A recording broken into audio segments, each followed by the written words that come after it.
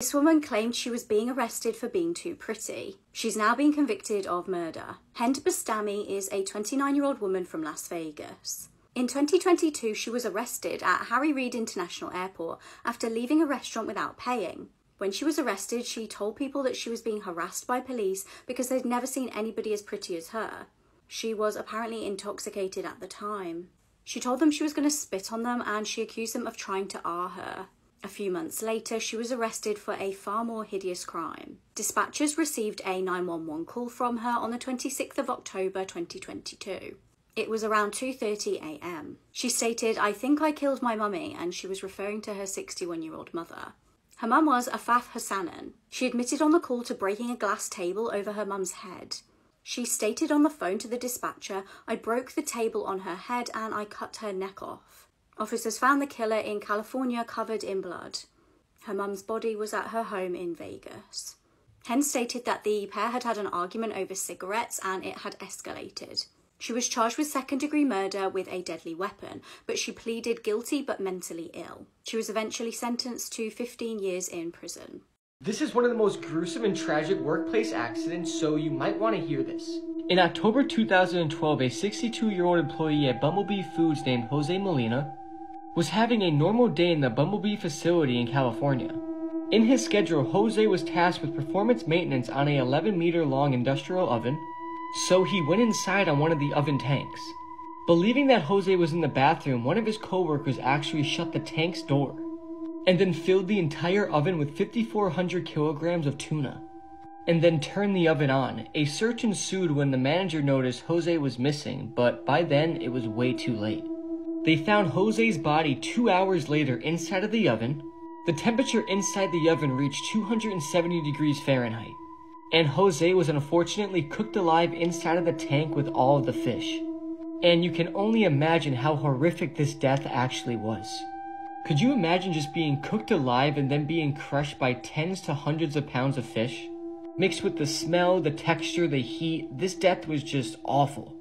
The company Bumblebee and two managers were actually charged for this death, and the company got off with a $6 million settlement. But what do you think? Do you think 6 million is way too low for a death like this and accident? Many people believe it should have been more towards 50 million. But yeah, this death is absolutely awful, and I can't believe this happened to poor Jose. This man murdered his wife and three children before turning the gun on himself. He survived his attempt to take his own life, and this is the mugshot that came out of this. Meet Charles Robert Gillard Sr. In May of 2022, Charles snapped. At the end of May in 2022, at around 2.30 p.m., the police were called to this residence in Michigan. When they arrived, they were met with an extremely gruesome scene. They found the bodies of a mother, a father, and three children. All had been shot and nobody had any idea what had happened. The children were identified as Ronald Joshua and Don Gillard. They were only three, four, and six years old. And the woman whose body they found was 40 year old Don Gillard. The first responders who responded to this crime scene have gone on the record and stated that it was the most gruesome thing they'd ever come across. The first responders, in fact, had no words to offer upon seeing the scene. It was truly unlike anything they had ever witnessed. So I haven't been able to find any more information about what exactly led up to this incident, but it's known that on that day, Charles Gillard took a gun, murdered his wife and three children, and then tried to take his own life but failed miserably. He survived his own unaliving attempt, spent weeks in the hospital recovering, and now he's going to prison. I'm honestly glad he lived so that he could be sent to prison because this man really, really needs to suffer. This shocking crime case is so concerning because it could happen to anyone. It was August 2022 and Stephen Marlowe was living in Butler Township, Ohio. On the 5th of the month, he posted a rambling video to social media after allegedly murdering four of his neighbours. He stated in the video that he would be killing more people too.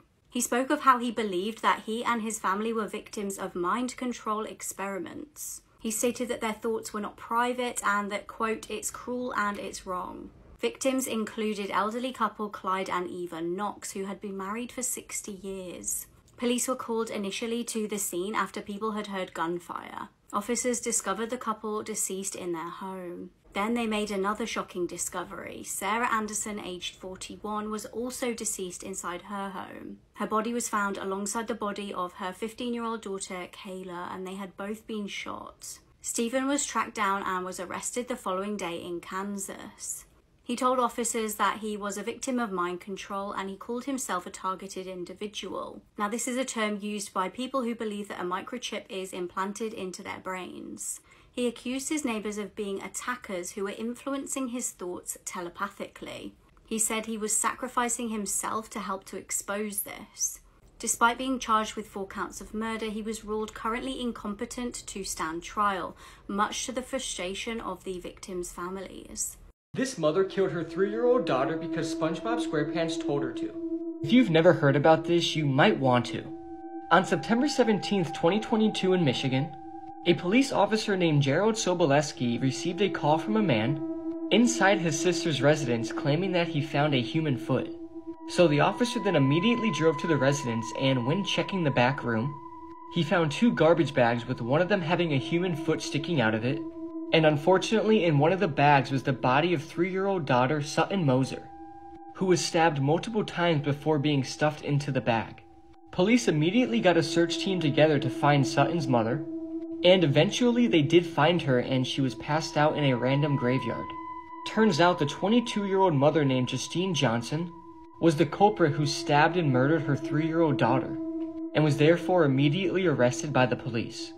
When asked why she did it, it was later revealed that she was experiencing hallucinations from heroin withdrawals and not sleeping for approximately two weeks. So, on the day of Sutton's murder on September 16, 2022, Justine was hallucinating while watching SpongeBob SquarePants, who apparently instructed her to kill and take her daughter's life. She also said that if she didn't do what she did to her daughter that they would kill her, and said she was afraid for her life and lost her mind. This case is just shocking and absolutely disturbing, and how could SpongeBob convince you to kill your own daughter? I guess she was hallucinating, but still, this is just absolutely crazy to wrap your head around. Rest in peace to Sutton, you did not deserve this at all. So you will probably not be able to fly again after watching Society of the Snow. The movie is based on the real-life plane crash that left a rugby team stranded in the Andes Mountains for 72 days, forcing some of them to consume the victims of the crash to stay alive. But I want to talk about the plane crash scene because there are a lot of little details in it that are terrifyingly accurate to what really happened. And as a quick reminder, I have a podcast of horrors, hauntings, and mysteries if you want more crazy stories. So on Friday the 13th in October of 1971, a team of rugby players boarded a flight in Uruguay that was headed to Chile. But they were going over the the Andes Mountains, so they had to go south over and up to Santiago. As one character explains in the movies, the Andes also have these cold fronts that will suck planes down out of the sky. Also, that day was really cloudy, and one thing the movie doesn't describe is the pilot turned too early and got lost. So the pilot thought that he was over there, so he started descending because he thought he was in Santiago. But when they got out of the clouds and everyone looked outside, the mountain was like 10 feet away. The pilots had to think really fast and basically pull the plane up almost vertical to not hit the mountain. But they didn't do it in time, and that's where the tail of the plane clips the mountaintop. And the force from that sucked five people out of the back immediately. And this is exactly how it goes in the movie. The rest of the fuselage cascades down the mountain until it finally stops and crushes everyone into each other, killing the pilot in front. And actually, a devastating tidbit that the movie doesn't show is that one of the pilots ended up surviving for the first night. And before he died, he actually told the team where they were in the Andes to help them be rescued. But because he had been lost while flying, he told them the wrong location, which completely messed up their rescue plan. And they were stuck there for almost two and a half months. Anyways, if you have a strong stomach, you gotta watch the movie. What this woman did still leaves locals speechless 65 years later. In the small town of Goobersville, Indiana, in the year 1957, a chilling incident unfolded. Karen Noodleman, a 16 year old girl with a haunting past, resided in an insane asylum. Known for causing the tragic loss of her family members, she was deemed dangerous after a lobotomy gone wrong when she was just 13. One eerie night, during the routine morning roll count, Karen was nowhere to be found in her cell. Panic ensued as the asylum doctors discovered a hidden hole behind her Marilyn Monroe poster. The entire facility went on high alert and the police were immediately notified. Concern for the safety of Karen's remaining family members grew, particularly her younger brother, who was living with their grandparents. Multiple attempts to reach out to her grandparents went unanswered, deepening the sense of unease among the asylum staff and law enforcement. With a sense of urgency, the authorities rushed to Karen's grandparents' home. They pounded on the front door, yelling, Police! Uncertain of what they would find inside, someone finally opened the door, but it wasn't who they expected. This is the love triangle that ended in a Valentine's Eve murder. Louise Grieve was a 38 year old woman from Hook Norton in Oxfordshire. She'd been in a relationship with Keith Green for eight years. Keith was a happy go lucky and kind natured man. He was described as a genuine person who loved his children dearly. Behind closed doors, Louise was being unfaithful to him. She'd been seeing 25 year old Mark Meadows and had been for around 12 months. Now, things had been bubbling under the surface, and Mark had been getting increasingly jealous of Keith. It was the 13th of February 2022, and Louise was in her local pub playing bingo with Mark and his half brother. His half brother was Travis Gorton, aged 20. When they left, they decided to go to Keith's house. Louise callously let the two men into the garden and they waited for her as she knocked the door. As Keith stepped outside of the property, the pair launched a vicious attack. They used two knives to stab him over eight times, killing him. After fleeing, one of the pair dropped the knife down a nearby drain and the other hid the other knife inside of a speaker. Mark also accidentally dropped his mobile phone at the scene of the crime in the frenzy, leading police directly to him. It also provided them with valuable evidence in the form of incriminating plans to get rid of Keith. Police acted fast and arrested Mark just an hour after the murder. The men were both given a life sentence each in court, and Louise was charged with manslaughter. She was given just eight years. A teenage girl was apparently also involved but has to remain anonymous due to legal reasons, and she was convicted of manslaughter. The judge addressed Louise in court and stated, You did nothing to resolve a tense and dangerous situation between the two men in your life because you were enjoying the situation of two men vying for your attention. Two other 10 year olds I don't even know kidnapped, tortured, and murdered me. My name is James Patrick Bulger. I was two years old and died on February 12, 1983. My mother, Denise Fergus, and I were out shopping that day. While we were in the aisles of a store, my mother let go of my hand for a very brief moment. Due to a slight lack of attention on her part, she noticed that I had disappeared. Then our two 10-year-olds, Robert Thompson and John Venables, came up to me and took me by the hand. Because of my young age, I didn't understand what was happening. Several people must have seen the scene, but no one reacted when I was kidnapped. They took me to a railroad track where there was no one around. They started beating me and allowed all the atrocities they did to me. They threw bricks and rocks at me. They also hit me on the head with an iron bar. And worst of all, they put batteries in my mouth. Then they asked me to undress so they could hit my private parts and inserted objects into my anus. After they'd finished playing with me, they placed me on the railroad tracks so that a train would run over me and make it all look like an accident. The two boys who assaulted me were convicted of murder in 1993 and sentenced to indefinite detention. They were released under new identities as adults. Do you think their judgments were correct? This has got to be one of the most horrific recent cases that I've come across. As you can see, it does involve a very young baby, so if you think it might be triggering, please do scroll. This is baby Zariah. She was born just last month and last Friday she passed away in the most horrific circumstances. This is Zariah's mother, Mariah Thomas. She's 26 and she's now facing 10 to 30 years in prison over the death of her daughter. Prior to being pregnant with Zariah, Mariah was taking medication for her mental health. She stopped taking this medication when she became pregnant, and according to a friend, she recently asked her if she'd started taking her medication again, and she laughed and said no. She'd also recently expressed on Facebook that people were only interested in seeing her because she'd just had a baby. Her friend has also said that she was a fantastic mother and that she would never hurt her daughter on purpose. They both lived with Mariah's parents, but on this fateful day last Friday, both parents were out of the house, leaving Mariah and Zariah alone. Mariah's dad received a phone call from a hysterical Mariah saying that she'd meant to put baby Zariah down for a nap, but instead she'd somehow placed her in the oven. When emergency services arrived at the house, they found Zariah in a car seat by the front door. She was already clearly deceased. Her clothes were melted, as was her diaper, and she had severe burns. Mariah told the police exactly what she told her father. She meant to put the baby down for a nap in her crib, but somehow she'd placed her in the oven instead and switched it on.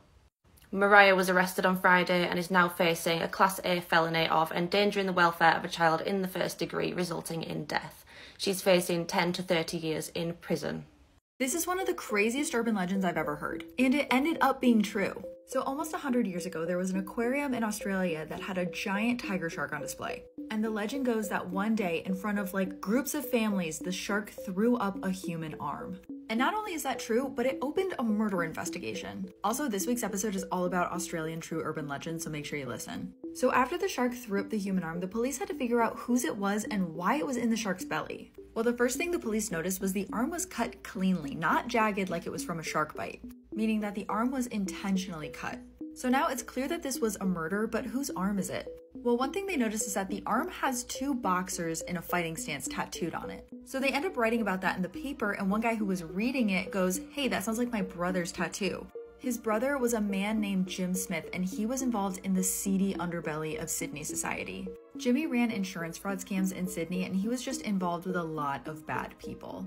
And the last person he was seen with was one of Sydney's most notorious criminals. The story has a lot of twists, including how was he involved with the last guy he was seen with. And there's a lot of fun Australian urban legends like the story of the Button Man, so make sure you check out this week's episode. This man was interrogated by police for six hours before they realised he'd been shot in the head. It was Christmas Day 2006, and Ryan Waller had been living with his girlfriend Heather Quinn in Phoenix. The pair were preparing for festivities together and they were planning on heading to Ryan's dad's house to celebrate Christmas when the doorbell rang. When Ryan went to the door, he was met by his former roommate Richie Carver and his dad Larry. Terrifyingly, they were armed. He tried and failed to slam the door on them and they entered the property. Ryan was shot in the head by the men and they believed they killed him.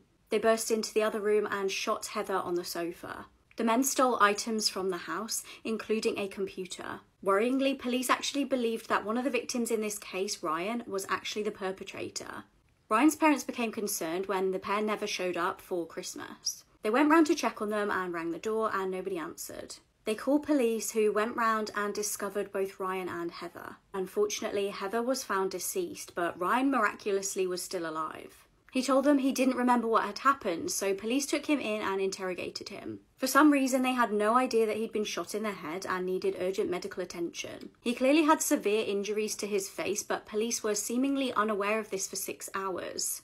Now, Ryan had survived two gunshots to the head, but police didn't believe the story that he was giving them. Eventually, six hours later, he was rushed to hospital to receive urgent medical attention.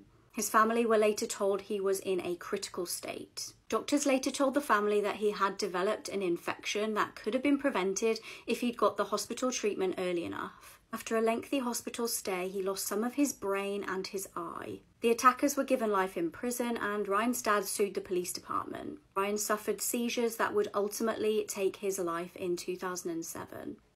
I totally don't mean to put a dampener on Valentine's Day, but it was on this day 11 years ago that this Olympic athlete became a killer. Oscar Pistorius was nicknamed Blade Runner due to the fact that he was a double amputee that sprinted on his prosthetic legs. In 2013, Oscar was in a relationship with 29 year old Reeva Steenkamp. She was a model and paralegal, and they'd only been dating for three months when, in the early hours of the 14th of February 2013, Oscar called emergency services from his house in Pretoria, South Africa. Reeva was staying the night at Oscar's house, and he claimed that he'd woken up to hear an intruder in the bathroom. He'd shot four times through the toilet cubicle door and then broke the door down with a bat but it wasn't an intruder in there, it was Reeva. Reeva had suffered a fatal gunshot wound to the head and died instantly. Neighbours came forward claiming that they'd heard the couple arguing around 2am, and then just an hour later, they'd heard a woman screaming around the time that the shooting took place. This is Oscar at his trial demonstrating how he was walking without his prosthetics that night. He said that he jumped out of bed when he heard a noise and that he wasn't wearing his prosthetics but it was argued that the way the gunshots were angled in the bathroom door, he would have had to have been wearing them, and it wasn't like he'd just jumped out of bed in the middle of the night. During his trial, an ex girlfriend also came forward, saying that when they were together, he would get angry at her over the smallest thing, like not taking her plate to the kitchen after she was finished eating. She also said that he was very jealous and possessive. Police also discovered a message from Reeva to Oscar in which she said that she was often scared of him. In 2014, Oscar was found guilty of culpable homicide and he was sentenced to 13 years in prison. However, just last month, after serving under 10 years, he was released on parole. The parents of Lacey Fletcher, the girl whose corpse was found melted into a maggot ridden couch in 2022, just pled no contest to manslaughter charges, meaning they could face up to 40 years in prison. So, if you don't know this story, here are the basics, and I'm just going to warn you this is incredibly disturbing. So, this story all started in January of 2022 when Sheila and Clay Fletcher, pictured here, were arrested. That's because the authorities had recently found the rotting body of 36 year old Lacey Fletcher, the couple's daughter, in a waste filled crater on their couch in their home, covered in maggots and urine and feces. Lacey had been dead for an extended period of time and she had literally rotted into the couch. So, at the time that her body was discovered, Lacey Fletcher hadn't been seen out in public for about 15 years. That's a photo of Lacey up here on the top left. So, according to Lacey's parents, she suffered from a number of different ailments, including social anxiety, severe Asperger's syndrome, and a thing called locked in syndrome, which basically means that the only muscles that you can actually move in your body are your eyes. So Lacey's parents would later go on the record and said they did their best for their daughter, they cared for her, but she just didn't want to leave the couch, and that's why they set up a portable potty next to her and brought her meals. But obviously, there was a massive amount of neglect going on here because when Lacey's body was discovered, like I said before, it was covered head to toe in feces. She was in puddles of her own urine. There was mold. There were maggots in the couch. It was truly a horrific scene. A doctor who actually looked at Lacey's body as well stated that they believe that the maggots were actually inside of Lacey's body before she passed away. That means that her parents had seen that she had maggots crawling on her and inside of her, and they did nothing. So now these two are facing up to 40 years in prison. I hope that their sentence really does justice in this case because this is absolutely one of the most horrific stories you'll read about. This man sobbed on TV when he found his son's dead body. Now he's been charged with his murder. Justin Lee Turner was just the sweetest five year old little boy from South Carolina. On the 3rd of March 1989, his dad Victor rang police. He told them that his son had got on the school bus that day and then never returned home. Justin's stepmom, Megan, said that she normally watches him get on the school bus, but on the morning in question, she was actually ill and was in the shower. She told police that she therefore didn't know for certain whether he'd got on the bus. Investigators started trying to put a timeline together. Witnesses actually reported that they'd never seen Justin get on the bus in the first place that morning. He hadn't actually attended Whitesville Elementary School at all that day. On the 5th of March, news crews were at the house capturing a search for the little boy. It was at this point that he was found dead. His body was found in a camper van by his dad, Victor. The child was said to have been strangled. His dad was filmed on TV as he wept with his head in his hands, but people could tell something wasn't quite right. Investigators felt that it was kind of obvious that he almost knew where to look for his son. He actually found him within seconds of going into the van. Police felt that he almost like acted his way through the search. It then transpired that Victor had asked some really strange questions to police. He'd asked what would happen if a family member had done harm to the victim, such as killed him. However, frustratingly, there was very little evidence to go off. Police couldn't just convict him over a hunch. Now, stepmom Megan was initially actually charged in connection with Justin's death, but the case was dismissed. Tellingly, the couple moved away within weeks and Megan changed her name. Investigators reported that they never even received one single phone call from the pair about their son. They seemed to never want to get answers or justice. In 2021, the case was reviewed and old evidence was re examined. Forensics looked into old physical evidence and new technology was able to reveal information. Fibers found in the family home matched the ones on the wounds on Justin's neck and on the clothes he was wearing. 34 years after Justin's death, his dad Victor is now charged with his murder. When you talk about disturbing human experiments, the Tuskegee syphilis study definitely has to be brought up. So this all starts in 1932 when poor black individuals living in Macon County, Alabama were recruited to be a part of a medical study. So these men who came from rural areas were told they had the opportunity to enroll in a program to help them treat their bad blood. This could have meant that they suffered from anything from fatigue to anemia to syphilis, it was a blanket term. These men who participated in the study were given free medical care, free burial insurance, food, and obviously payment, but what they had no idea of was that this entire thing was a sham. So the men who participated in this study weren't told that they were actually all suffering from syphilis, an STD. And they also weren't told that they were being signed up for a government study. And these experiments aimed to study untreated syphilis. So these scientists, these doctors, everybody involved with this program knew that these men were suffering from syphilis, but they didn't tell them. And even after drugs like penicillin, which were known to knock out syphilis, became widely available, they weren't prescribed or given to these men that were suffering. You see, the government was acting like they were helping these people out, when in reality they were studying their suffering. And they were allowing these men's diseases to go on for way too long. In fact, there have been over a hundred deaths linked to this study because of the untreated syphilis meaning that the US government allowed these men to die, studied their death, and studied their pain, all while lying to them and telling them that they were actually helping them out in the first place. These disturbing human experiments actually continued up through the 1970s. And the only thing that eventually stopped them from happening was the fact that the media got a hold of this and started running it into the ground. Meaning that the government got exposed, backed into a corner, and they had to shut it down. In the 90s, though, President Bill Clinton formally apologized to the survivors from the US government and gave them some awards. But still, I don't think that's enough, and this is a really disturbing footnote in American history. This is by far one of the most disturbing carnival accidents caught on camera explained. In 2014, a terrible accident occurred at a amusement park in Orlando, Florida, resulting in the death of a 14 year old boy. The incident took place at Orlando's Icon Park, where the freefall ride stands as the world's tallest freestanding drop tower, towering at a height of 430 feet. The victim, Tyre Sampson from St. Louis, Missouri, slipped out of his seat during the ride. The primary cause of the accident was an operator error. The operator manually adjusted the seat restraint opening to accommodate Tyre's weight which was over 300 pounds. As a result, the restraint opening was nearly double the normal range. During the ride's descent, Tyre slipped through the gap between the seat and the harness and tragically fell to the pavement, suffering fatal injuries. The autopsy revealed that Tyre had numerous broken bones and internal injuries. His weight exceeded the ride's manual weight limit of 287 pounds. Now I'm going to explain the heartbreaking video. So if you ever been on these rides, you know how they work. It slowly brings you up to the top and then it drops you down and then you stop kinda halfway when you get to the bottom.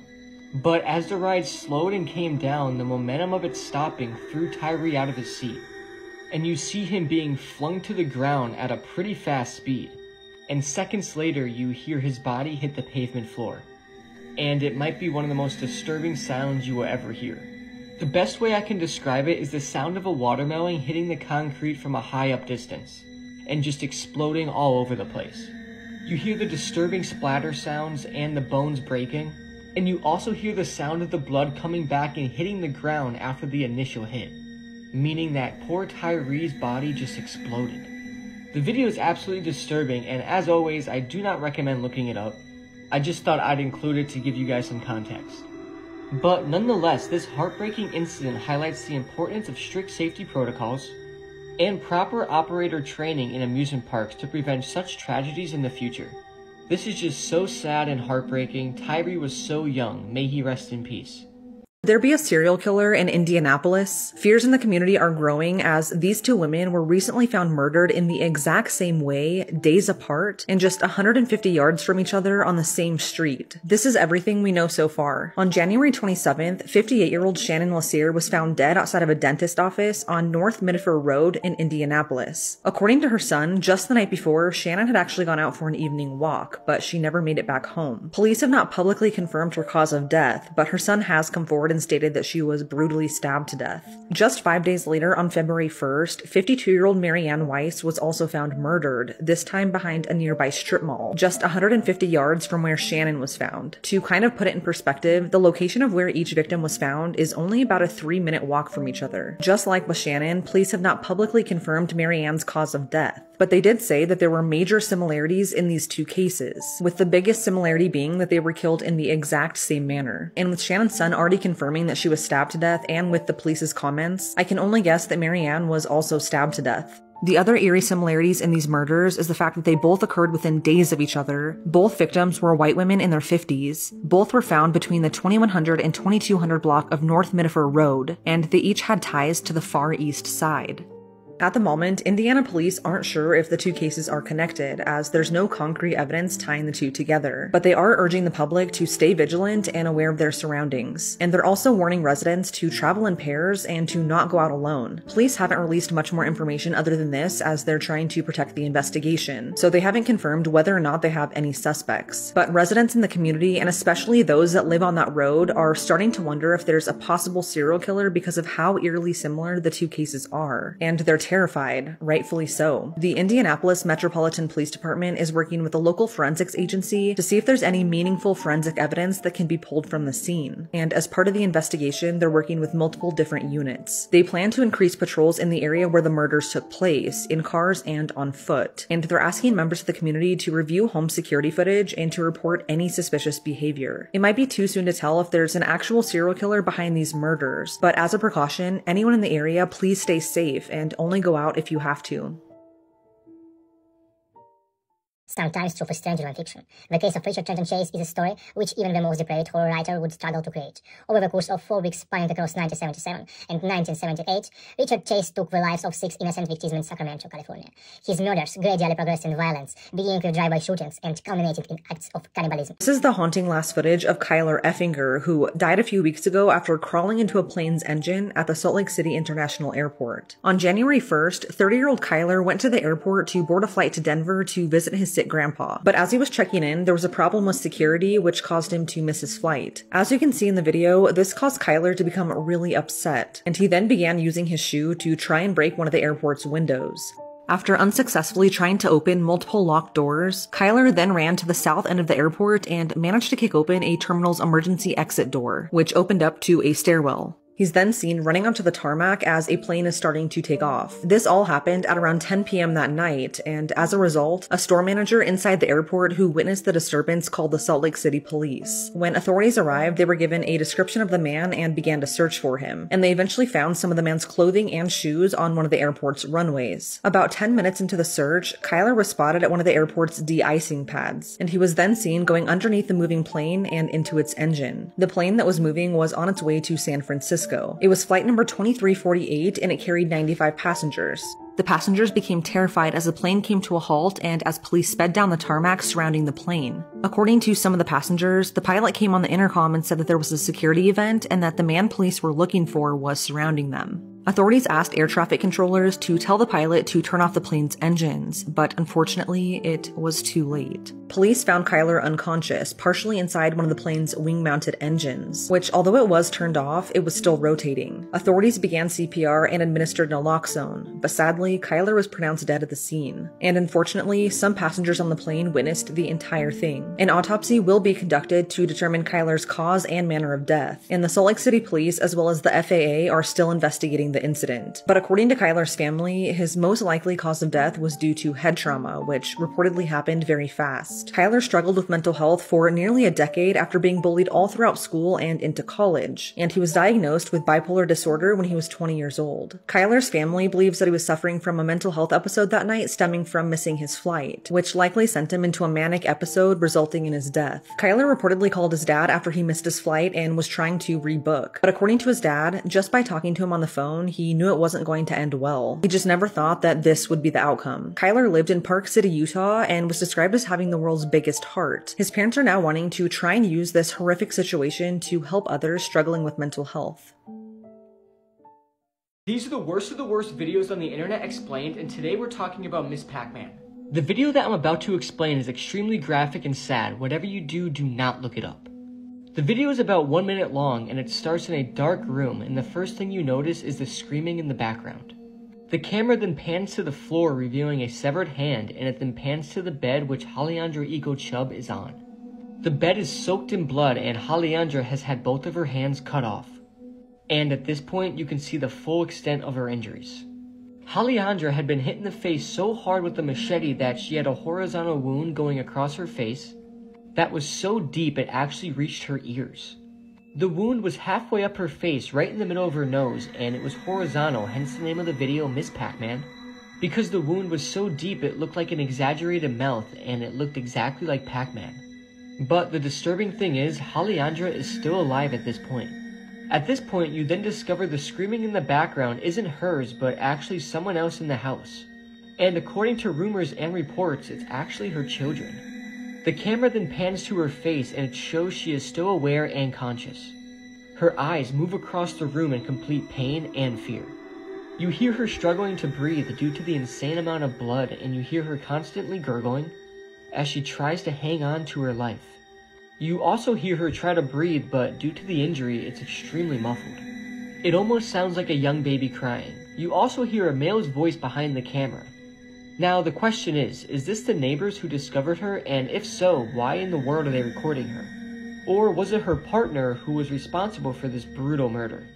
The camera stays in Halleandra's face for about 30 to 40 seconds and you see her withering in pain. You hear her trying to scream and at one point the camera goes closer to her wound and you see just how deep it really is. It's literally three quarters of the way down her head. This is a very hard watch and completely disturbing. Although you don't see the awful act committed on camera, seeing the aftermath is completely traumatizing. Halleandra was sadly pronounced dead after this video was taken. This video is considered one of the worst and its brutality is compared to Funky Town. Nobody knows how this video ended up on the internet and it remains a mystery to this day. Please, whatever you do, never search for this video or picture. It's way different than a regular cartel video I explained, and it's more of a real life horror movie, a complete living nightmare for those in the room. Rest in peace to Halleandra Eco Chubb. This is absolutely sickening, and you didn't deserve this at all. Whatever you're doing, stop scrolling. This is one of the creepiest exorcism stories you'll ever hear. Watch this. One of the worst cases I've ever heard was from uh, the Exorcist of New York City. The woman, a young girl, Juilliard, a violinist, and she was about to graduate. She was brilliantly talented, but all of her friends were getting job offers and she had none. And her friends remember always hearing her say the words, I would do anything to be famous. Well, guess who's listening? It wasn't long after that that she uh, went to bed one night, had a dream, and she said in the dream was the most beautiful man she'd ever seen naked, another sign calling card of the devil. Uh, and he said, you really want fame and power? And she said, I do and he produced a contract and he took his finger and slashed her finger and had her sign it in her blood. And then he touched the contract and it burst into flames and the ashes fell on the floor. So pretty easy to understand what happened, right? But what's worse is her finger was cut and the ashes were next to the bed. So within a couple of weeks, she signs this multinational tour, makes a ton of money, becomes very popular and famous on this circuit. And within a few years, she gets involved with drugs, goes to needles, gets HIV. Now she's dying in a New York hospital. And this whole thing comes back to how this started. And she calls her Filipino mother and tells her the story. And mommy calls the chancery. I need an exorcist right away for my daughter. So Jim is the exorcist. He shows up and they tell him the whole story from the dream forward. And he says, okay, well, that's not good. You signed a blood covenant with the devil. So I'm going to need you to break that with the blood covenant. So you're going to write out the whole creed and then you're going to sign it in your blood. Well, the doctor's like, she has AIDS. She's not signing anything in blood. Not going to happen. And he says, well, then you need to step out of the room because she needs to do this. And she did do it. And she signed the contract, the, the creed, and she convulses and flatlines and dies. So now the doctor comes back and he's really upset. The mother is out of her mind. They're all blaming the priest. Hysteria goes on for about 10 minutes. And then all of a sudden she jumps up off the table. she's back. And they test her. No HIV, no AIDS. She's completely healed. But she then committed for the rest of her life to only do music that would honor God and to tell people about the reality of the devil and not to make deals with him. What do you think about this story? Let me know in the comments down below. These are the worst of the worst videos on the internet explained, and today we're starting with Funky Town. Before I begin, never look this video up. This is a massive trigger warning. The video begins in some sort of room and music is playing. The first song that plays is Sweet Child O' Mine by Guns N' Roses. And the camera pans to the victim on the floor with plastic wire. And the torture had already began before the video started. Because the victim looks like he's already been through complete brutality. His hands have already been cut off and his face has been completely flayed which means skinned. There is no skin on the victim's face at all and his eyes have been gouged out and there is an insane amount of blood all on the floor. But the most messed up part about this is that the victim is hooked up to some sort of IV and the IV is pumping him with drugs to keep him alive. And completely aware, making sure he feels everything that is happening to him. At the start of the video, they try and slit his throat with a farming sickle and press it against his jaw. But when the victim begins to scream, they shove a box cutter in his mouth to shut him up. His screams are absolutely gut-turning. They kept going from screams to gurgling, from screams to gurgling. As the video progresses, they take the box cutter and slit his throat about 40 times. And keep in mind, the victim is still alive and aware of everything because of the drugs they are giving him to keep him alive. Also, the cartel members are mocking and laughing at the victim the entire time. They then continue to try and slit his throat with the box cutter and were going at his neck numerous times all while the song Funky Town was playing in the background, hence the name of the video. The cartel members kept having to physically restrain the victim, meaning that there was still a lot of life left in him. And the amount of pain he had to be in is completely unimaginable. At one point in the video, a cartel member has his foot on his chest holding him down, and another time they shoved a pole in his mouth holding him in place. But the worst part about the video is towards the end where the victim manages to loosen his arms from the restraints and immediately tries to touch his face. But remember, the victim has no hands to feel, no face at all, and no eyes to see. The victim was most likely in so much shock that he likely forgot he had no hands, but instinctively the victim still tries to touch his face. It's absolutely horrifying and the video then concludes. Also, keep in mind the victim was still alive when the video ended, so who knows what else they did to him before he died because they were just keeping him alive to torture him. What makes Funky Town so horrifying besides what happens in the video is the mystery behind the video. We don't know the victim's name, we don't know why he was being tortured this way, or what he did. The only thing that we do know is that it took place in Mexico and it's extremely horrifying to watch. You can make an argument that nobody has ever been tortured this bad in history. Funky Town is definitely one of the worst videos out there and I don't recommend watching it ever. But to start off this series, Funky Town has the first spot. Welcome cappers and cam whores to the Daily Capper Week of July 25th, 2010. We have a lot to talk about so let's get started. This anonymous web show is one of the most disturbing things that's ever existed on the internet. What I just showed you was a clip from an online program called The Daily Capper. The Daily Capper was a program put on by pedophiles all across the world and this was the head of a community of people known as cappers. This online community of pedophiles known as cappers would go onto the profiles of underage girls and boys, flatter them with compliments, shower them with praise, and try to get them to flash them so that they could take a screen cap of their nude body. And after that, these pedophiles would then blackmail these children with these images. They would send these photos to friends, family members, schools, and there were all sorts of code words and online forums where these cappers, aka disgusting pedophiles, would meet and exchange information. The Daily Capper itself, this program, was a program put on by these pedophiles to talk about news and events that were happening within this pedophile community. It's really disturbing to me that they chose this because I used to watch the show Crashbox as a child, and I think that it's eerie and haunting that they're actually using imagery from a children's show for this pedophile network. Now, sadly, one of the victims of this capping community was a girl named Amanda Todd. Amanda's story is particularly well known because of the YouTube video she created before she took her own life. But at one point during Amanda's stages of cyberbullying, she was featured repeatedly on the Daily Capper, this program. And the intro always started like this. welcome cappers and cam whores. And then at the end, the newscaster up here would say, Happy hunting, encouraging these pedophiles to go target more children. And they would do awards at the end of the year for the best, most prolific pedophiles in their community. These awards that they gave out included Blackmailer of the Year, Capper of the Year, Cam Whore of the Year, Cam Site of the Year, and Shocker of the Year, where they were basically giving awards to pedophiles and their victims. There's a lot of information online about this whole show and these pedophiles, but something really disturbing to me is the fact that most of the people involved in the Daily Capper were never brought to justice and they were never caught. That means that all of these pedophiles that were celebrating with each other and glorifying their disgusting acts are still out there, probably on the internet today. And to end this, I'm going to show you one more clip from the show, which I find is particularly disturbing. Candy Beaches returned this week for the first time in a month. The reason they were gone so long is because they said someone called the police on them. Twice. I think I know what this is all about. Be reported to the cyber police and the state police. Looks like he wasn't joking around. Maybe it was their Good Morning America interview that prompted cyber police.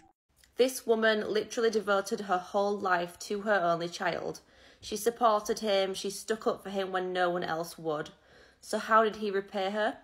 By stealing her money and then bludgeoning her to death when she decided to confront him.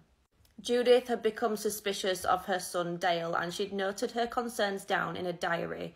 He'd actually received a caution from police in 2001 after embezzling money from her savings account, but she decided not to press charges. By the time 2020 came around, Dale was now in his 40s and he was still stealing money from Judith. She'd noted down in her diary things like drug addiction, lies, stealing money, referring to Dale. Towards the end of 2020, with most of Wales locked down due to COVID 19, Dale was living with Judith, and this is when he did the unthinkable. It's thought that at the beginning of December, Judith had confronted Dale about his lies and stealing. He'd picked up a hammer and hit her round the head, not once, not twice, but 14 times, until she was slumped on her bed, still and silent. He'd then placed a plastic bag over her head and tied it in place with a cable. Over the next few weeks, friends of Judith became concerned that she hadn't been seen, and Dale made excuse after excuse as to why they hadn't seen her, saying that she was in hospital, visiting a friend, or self isolating with COVID. But eventually, the police were called and they went round to Dale and Judith's in late January. They were fobbed off by Dale, saying that his mother was very ill in bed and she was self isolating. Less than a month later, on February 20th, the police were called again and they again visited, but this time Dale wasn't in. So they looked through a window and they saw Judith's body. She was partially decomposed, kneeling on the floor with her right arm on the bed. There was blood on the bed and a bloodied hammer on the floor. Just a few hours later, Dale actually handed himself into police. However, when questioned, he answered no comment to every single question and he refused to give up his login information for his social media accounts. When police looked into Dale and Judith's finances, they discovered that Dale had transferred money multiple times from his mother's bank account to his own, totaling £3,000. He'd then withdrawn the money in cash to fund his drug habit. He'd then sat night after night using those drugs completely unfazed that his mother's decomposing body was in the next room. At Dale's trial, his cousin, Judith's niece, read out a statement that said, We'll never understand why he did this. Dale was Judith's life and the person that she loved the most. Dale pleaded guilty in August 2021 and he was sentenced to life with a minimum of 21 years and 6 months. However, coined the phrase, you can't make this stuff up might have known the story of real-life boogeyman, Albert Fish. A slight, elderly man with grey hair, no one suspected the kindly single father of being sadistic child murderer and cannibal. This is a true horrifying story, part 76. This story took place in Dubai very recently. There's a group of young Emirati guys that contributed money to rent a villa in a community in Dubai. They pretty much wanted to co rent a house so they can spend time together on the weekends. So they rented this villa. They were playing games, partying, doing wrong things, bringing girls over, you know, stuff like that. On a normal weekend, one of these guys, named Ahmed, started talking to a local girl recently. After a couple of tries, he finally convinces her to come over. Before she arrived, he tells his friends not to come upstairs as he would be in one of the bedrooms with this girl. When she arrived, he immediately takes her upstairs and locks the bedroom door. In 30 minutes exactly, all the guys downstairs hear drastic screaming coming from upstairs. They see Ahmed running down the stairs, completely naked with no clothes on, scared for his life. They ask him, What is going on? He stutters in fear, saying, Get out of this house, all of you. They thought he was playing some sort of prank until they see the girl run down the stairs, also with no clothes on. She was screaming with a man's voice, telling Ahmed to come back. It wasn't her normal voice, it sounded raspy and very manly. They all run outside, and one of Ahmed's friends takes his pants off and gives it to Ahmed so he can cover up.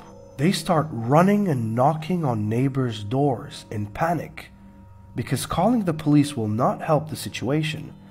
Maybe because there was something inside the house they didn't want the police to see. There was an Emirati neighbor nearby that allowed them to stay in his home until they figured out a solution.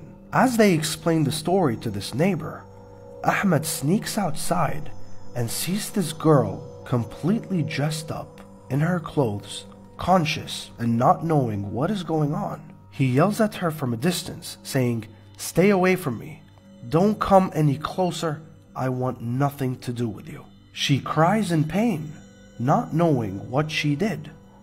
She asks him, Why are you standing far from me? He told her to leave. She cries and begs him to drop her home because she didn't even know where she was. This was a Ashiq jinn that possessed this girl, and this jinn did not allow another man to do the dirty with her. If someone wanted to be a hero while these things were happening, something very bad could have happened and lives could have been taken. I've just come across this story and something just doesn't sit right. This woman literally vanished into the night three years ago after arguing with her dad's girlfriend, and she hasn't been seen since. Caitlin Ledbetter was born in 1995 to parents Tracy and Scott. She has an older sister and a younger brother and sister. The family lived on the outskirts of Indianapolis, and it seems that in the late 90s they ran into some debt, and Caitlin's mum Tracy filed for divorce. Scott moved to Tennessee, and eventually Tracy stopped showing up for court proceedings, and the divorce was dismissed. According to records, Caitlin's mum Tracy was arrested in 2002 for charges of battery, but there's not much info on her from then leading up to her death in 2013 when she was 38. Following their mum's death, Caitlin, then 18, and her brother Aaron, 15, went to live with their dad, Scott, in Tennessee. This is Caitlin's dad, Scott, and by 2021, Caitlin was 26. She had a boyfriend, but she was living with her dad, Scott, and his girlfriend, Crystal. According to Scott, on May 2nd, 2021, in the early hours of the morning, around 5am, Crystal and Caitlin got into an argument. Caitlin left the house through her bedroom window, and she hasn't been seen since. This is where it gets a little bit strange. This was a 26 year old woman, and apparently she left the house wearing nothing but a cropped pajama top and a pair of pajama shorts. She had no shoes on, and she apparently fled into the woods behind the house. This is where it gets even stranger. Just three months later, emergency services were called to Scott's house. It was engulfed in flames, and he said that his girlfriend Crystal was still inside. The house was completely destroyed in the fire, and Crystal was found dead in the basement. According to family members, Scott didn't want to search for Caitlin at first. He only searched once. He came back and cried for 45 minutes in the house and refused to go out searching again. It apparently also took the police nine months to do a proper search for Caitlin. They used sniffer dogs in the wooded area that she'd fled into, and apparently they did pick up her scent, but it stopped once they got to the edge of the woods. Family members also said that they received messages from Caitlin's phone after she went missing around 7am that morning, but it didn't sound like they came from Caitlin. They said that she never had data on her phone, she only used the house's Wi Fi, so those messages had to have come from inside the house. Family also noted that Scott and Crystal were heavy drug users and that Caitlin was actually a little bit afraid of her father. In fact, he'd kicked her bedroom door in the night that she disappeared, following the argument with Crystal after she'd locked herself in her bedroom. Family members are obviously still looking for answers. She's been missing nearly three years now, and many of them do think that Scott was involved somehow. This is Jared Fogle, one of the worst pedophiles in American history. So if you don't know who Jared Fogle was, he was the spokesperson for Subway for a number of years. Jared initially became famous and then eventually became the spokesman of Subway because he dropped so much weight while eating a Subway diet. According to Jared, he lost almost 245 pounds while eating almost exclusively from Subway. Obviously, this was a huge story, and when Subway heard about this, they contacted Jared and eventually made him the spokesman for their entire company. I swear to God, I remember this. For years, you couldn't turn on the TV without seeing this guy's face. So in 2004, when Jared was at the height of his popularity, he launched the Jared Foundation, a foundation determined to fight childhood obesity. This foundation saw Jared touring schools across the nation, talking to kids about losing weight, and yeah, just being heavily involved with children, which people at the time thought was a great thing. But it was when he was away from the cameras, behind the scenes, when Jared was engaging in some of the most deplorable behavior I've ever read about. So in 2007, a radio host and journalist from Florida came forward to the FBI and reported that Jared was saying and doing some concerning things. Apparently, while at a middle school event, Jared had been talking to her about performing lewd acts on a minor. He had texted her about all of these things, and she even recorded him saying all this stuff. At one point, apparently, Jared even asked this journalist if she could install webcams in her children's bedrooms so he could watch them. Obviously, this was concerning. This journalist recorded all this, turned it into the FBI, but they told her that they couldn't do anything because they didn't have enough evidence. And now we got to talk about Russell Taylor, a guy who was heavily involved in Jared's foundation. So when he wasn't working on the Children's Foundation, this guy, Russell Taylor, was producing CP in his home. Apparently, between the years 2011 and 2015, Russell Taylor had videotaped minors in his own home and traded photographs of them with none other than, you guessed it, Jared Fogle, King of the Footlong. According to court documents, Jared actually asked Russell if he could move some of the nanny cams in his home so he could watch children in varying states of undress or while they were naked taking a bath. Russell also claimed that Jared made him set up accounts on porn sites in his name, and he wanted to basically run his whole CP operation for him. Well, shortly after Russell Taylor was arrested, Jared Fogle's home was raided, and guess what they found? A ton of CP. On the same day that his home was raided, Subway severed all ties with Jared, and some new disturbing facts came to light during the trial.